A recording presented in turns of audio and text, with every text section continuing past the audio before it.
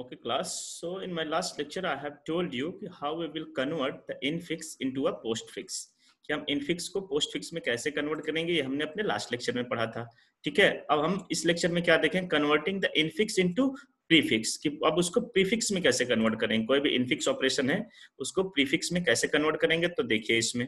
ये ये क्वेश्चंस अक्सर आपके एग्ज़ाम में आते हैं मैं इसमें सब बताऊँगा। Infix to prefix infix to postfix postfix to prefix prefix to postfix everything all the questions will be conducted, i will. Okay. Now, see, suppose this is the expression. This expression is in infix form. ये infix form में है तो देखिए infix basically क्या होता है? जब भी कोई दो operands suppose that A plus B कहीं पर भी दो ऑपरेंट्स होते हैं तो उसको हम डायरेक्टली क्या करते हैं? हम उसको प्रीफिक्स प्री मतलब पहले। उसका जो ऑपरेटर है, उसको पहले लिख करके ऑपरेंट्स बाद में लिखते हैं this is the concept of the infix sorry prefix pre मतलब पहले, उसका ऑपरेटर वो पहले आ जाएगा, ठीक है? तो देखिए यहाँ पे क्या हो रहा है कि अब देखिए ये था तो लिखा ए प्लस बी अभी चूँकि देखिए ब्रैकेट में बंद है ए प्लस बी बंद है ना हमारा? ब्रैकेट में एक एक ये बंद है ब्रैकेट के अंदर तो सबसे पहले ये सॉल्व होगा, ठीक है? A plus B A plus B हमने बताया अभी क्या इनफिक्स में क्या हो जाता है, इसको क्या लिख देते हैं?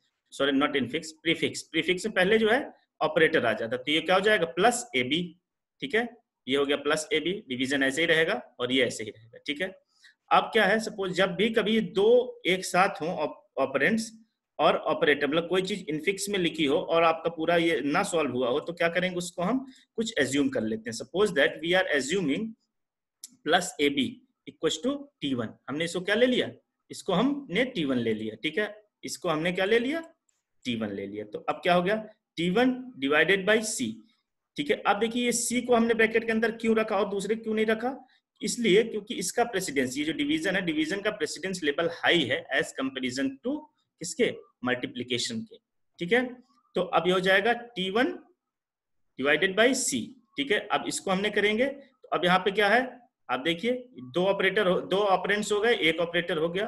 तो क्या हो जाएगा? ये ऑपरेटर बाहर आ जाएगा। तो क्या हो जाएगा? Divide T one C T one C into D minus E ठीक है, अब देखिए फिर से ये दो इकट्ठे हो गए मतलब इनफिक्स फॉर्म में प्रीफिक्स फॉर्म में आ गए तो इनको फिर हम कुछ एज्यूम करेंगे। इनको suppose that we are assuming this is T two ठीक है, ये टी टू हो गया, ये पूरा होल तो क्या हो गया? T two into D minus E अब ये देखिए, इसका प्रेसिडेंस हाई है माइनस और इंटू में किसका हाई है? इंटू का इंटू पहले आ जाएगा। ठीक है तो अब आ गया ये T one sorry T two into D अब यहाँ पे देखिए प्रीफिक्स में क्या कहते हैं? ऑपरेटर पहले आ जाता है ऑपरेटर यहाँ आ जाएगा।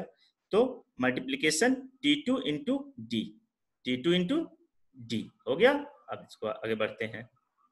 ठीक है? ए, हाँ। टी टू इंटू डी तो डिलीट कर दूँ तो आपको क्लियर हो जाएगा यहाँ सब चीज़ें। ठीक है? टी टू इंटू डी आपका कहाँ पर आ गया था?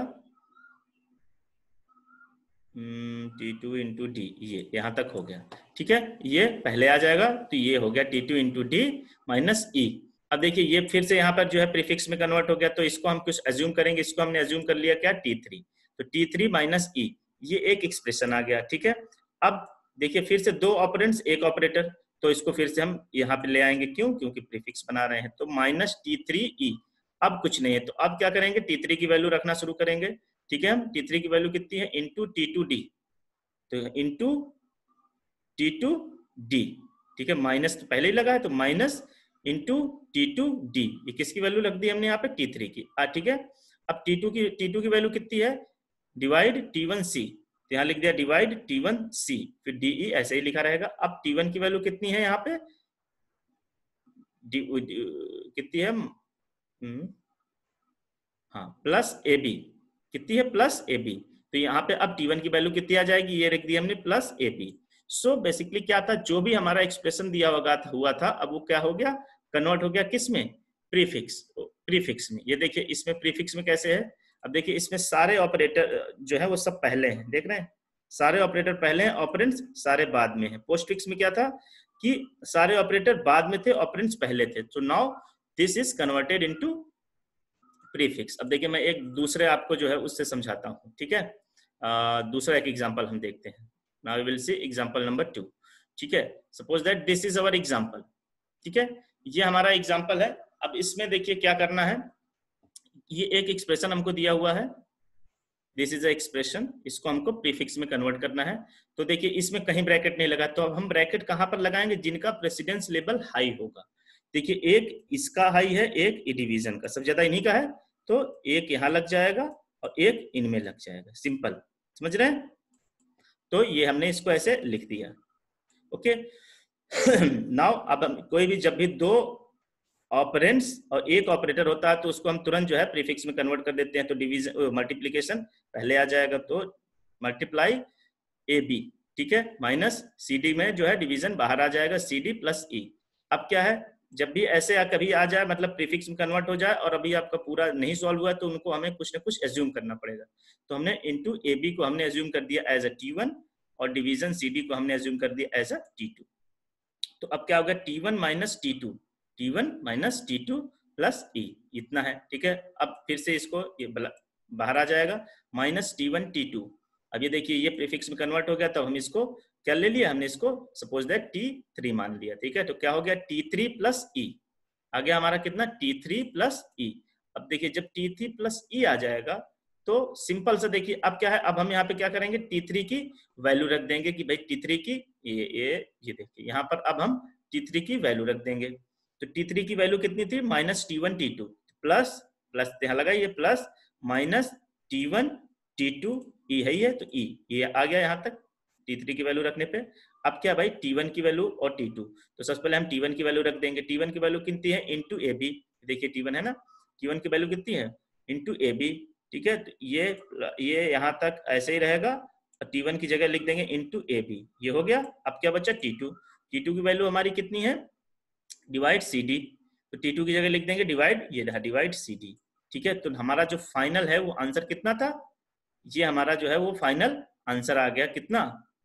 ये देखिए ये now this is our final answer